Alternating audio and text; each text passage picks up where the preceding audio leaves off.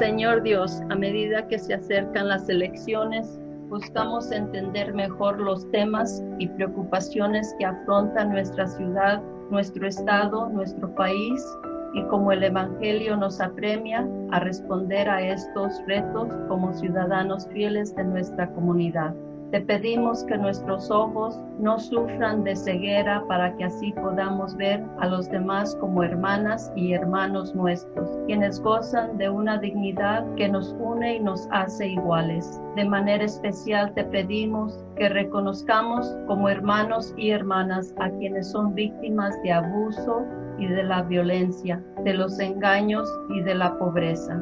Te pedimos que nuestros oídos escuchen el llanto de los niños aún no nacidos y de los niños que han sido abandonados. Que escuchemos el llanto de los hombres y mujeres que son oprimidos a causa de su raza o credo, religión o género te pedimos para que nuestra mente y nuestro corazón estén abiertos a escuchar la voz de los líderes que nos acercan cada vez más a tu reino. Te pedimos por el don del discernimiento para que elijamos líderes que escuchan tu palabra, viven en tu amor y caminan por la senda de tu verdad a medida que siguen el camino de Jesús y sus apóstoles y nos guían hacia tu reino de paz y justicia. Te lo pedimos por tu Hijo Jesucristo a través del poder del Espíritu Santo. Amén. Oración inicial. Ven Espíritu Santo, llena los corazones de tus fieles y enciende en ellos el fuego de tu amor.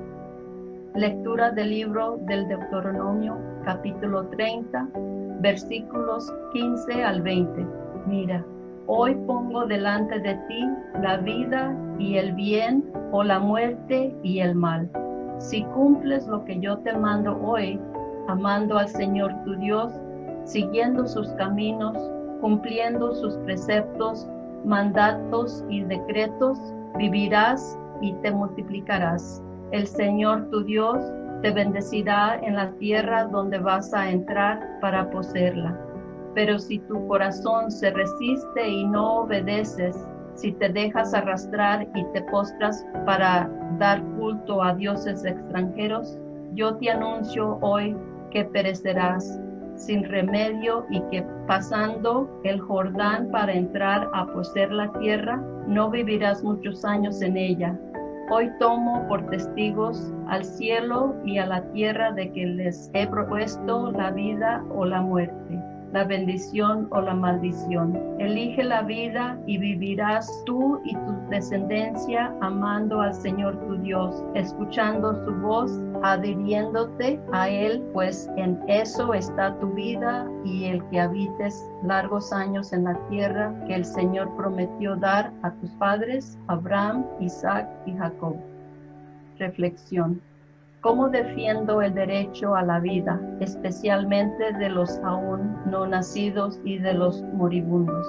¿Qué me tienta a alejarme de los mandamientos y a no apoyar el derecho a la vida de todas las personas?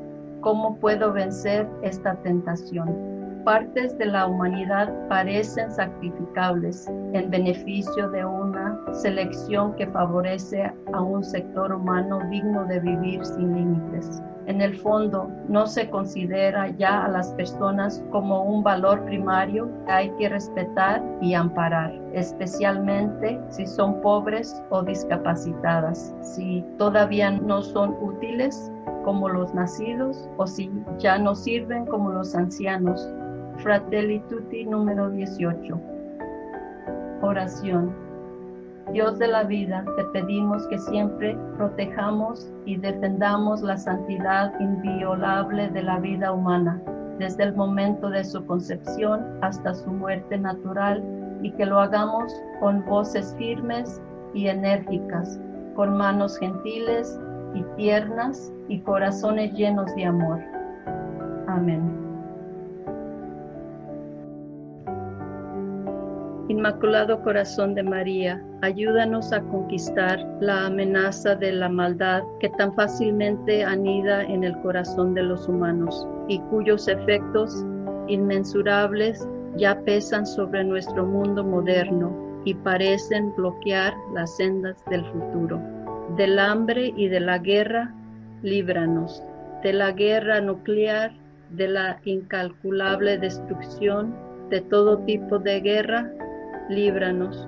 De los pecados contra la vida humana desde su inicio, líbranos.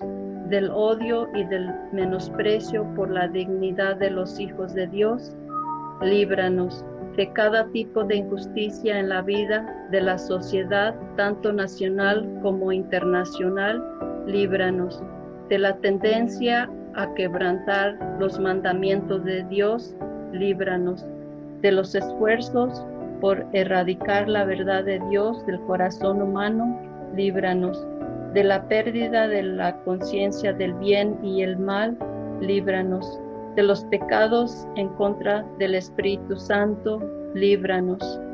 Acepta, oh Madre de Cristo, este grito que carga todos los sufrimientos de los seres humanos y de sociedades enteras. Ayúdanos por el poder del Espíritu Santo a conquistar el pecado, el pecado individual y el pecado del mundo, el pecado de todas sus manifestaciones.